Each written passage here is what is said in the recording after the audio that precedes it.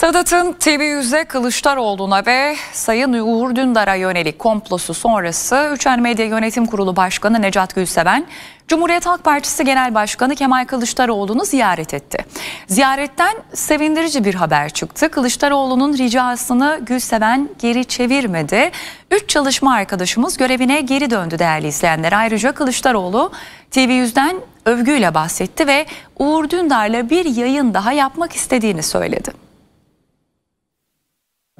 Üç arkadaşımız işinden oldu. Şimdi sevindirici kısmını anlatacağım ama. TV100 Yönetim Kurulu Başkanı Necat Gülseven'le CHP lideri Kemal Kılıçdaroğlu arasında bir görüşme gerçekleşti. TV100.com yazarı Barış Yarkadaş görüşmeden detayları paylaştı. Görüşmede vicdanım el vermiyor diyen Kılıçdaroğlu, olay nedeniyle işten çıkarılan 3 çalışanın işe geri alınmasını istedi. Gülseven bu isteği geri çevirmedi. Medyadan, TV100'ün açıklamalarından reklam bölümündeki 3 arkadaşımızın işsiz kaldığını öğreniyor. O 3 arkadaşımızın böyle bir hata yüzünden işsiz kalmasına benim yüreğim el vermez.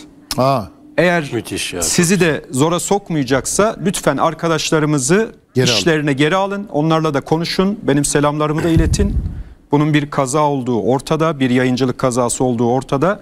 Lütfen böyle bir şeyden dolayı hiç kimse işsiz kalmasın. Evet. Diyorlar. Alican Bey de az önce konuştu kendileriyle. Üç arkadaşımız da yarından itibaren işlerine başlıyorlar. Sadat'ın TV100, CHP Genel Başkanı Kemal Kılıçdaroğlu ve duayen gazeteci Uğur Dündar'a yönelik komplosu sonrası TV100 Yönetim Kurulu Başkanı Necat Gülseven, CHP lideri Kemal Kılıçdaroğlu'nu ziyaret etti. 1 saat 15 dakika süren görüşme Ankara'da CHP Genel Merkezi'nde gerçekleşti.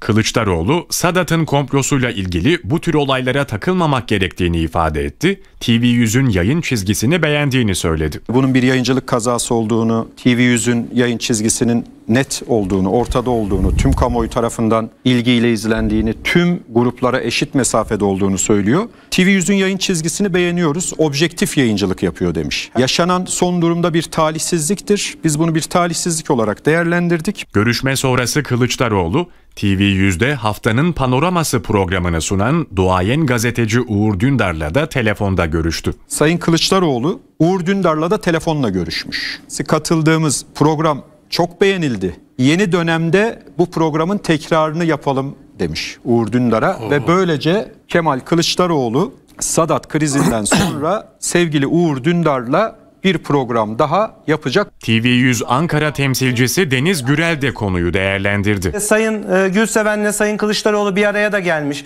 Burada Sayın Kılıçdaroğlu gerçekten Ali Cenapluk yapmış. E, arkadaşlarımızın işsiz kalmalarına gönlü razı gelmemiş. Yani ben açıkçası böyle sünni gündemlerin e, Türkiye'de enerjimizi almaktan başka hiçbir işe yaramadığını e, düşünüyorum. E, her şey ortada. Değerli izleyenler İyi Parti başörtüsü teklifinin komisyon görüşmelerine katılacak. Koltuk altında ise kendi ajandası olacak. Parti içinde hazırlanan teklif sunulacak. Kararı parti sözcüsü Kürşat Zorlu duyurdu. komisyondaki çalışmalara katılacağız. İyi Parti katılacak. İyi Parti'nin tavrı netleşti. Başörtüsünü anayasal güvenceye alan teklifle ilgili komisyon görüşmelerine katılma konusunda fikir birliğine varıldı. Kararı parti sözcüsü Kürşat Zorlu duyurdu.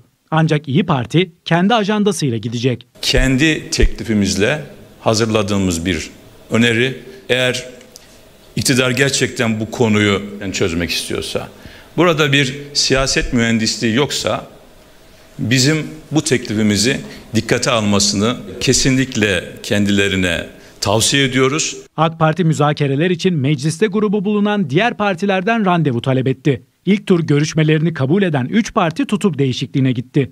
Cumhuriyet Halk Partisi, İyi Parti ve HDP ikinci tur görüşmelerine olumsuz yanıt verdi. İyi Parti'nin bu tavrına açıklık getirdi Zorlu. İlkesel bir tutum dedi. Sayın Milletvekilimiz Lütfü Türkkan'ın dosyasıyla aynı güne getirilmesi sebebiyle o günkü görüşmeyi gerçekleştirmedik. Bunu bir defa ilkesel olarak doğru bulmuyoruz. Zorlu, HDP kapatılırsa Deva Partisi'nden seçime girebilir şeklindeki iddiaları da değerlendirdi. Millet İttifakı'nda ve Altılı Masa'da e, bu parti yer almamaktadır. Yeni bir değerlendirmeye de bu konuda açık olmadığımızı ifade etmek isterim.